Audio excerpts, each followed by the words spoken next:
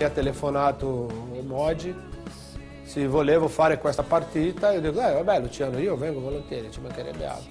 Sai, è stata anche una soddisfazione. Non posso dire che ho vinto perché io sono stato diciamo, invitato per giocare l'ultima partita. Hanno vinto quello che hanno fatto sicuramente tutto il torneo. Era l'ultima opportunità di, di mettere addosso la maglia del Toro come è capitato nel 91.